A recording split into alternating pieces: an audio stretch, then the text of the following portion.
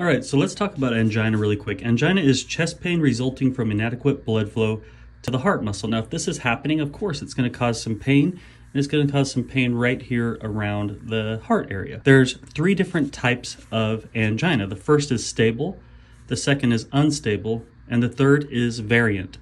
How can we tell the difference between these? Well, with stable, it happens on exertion.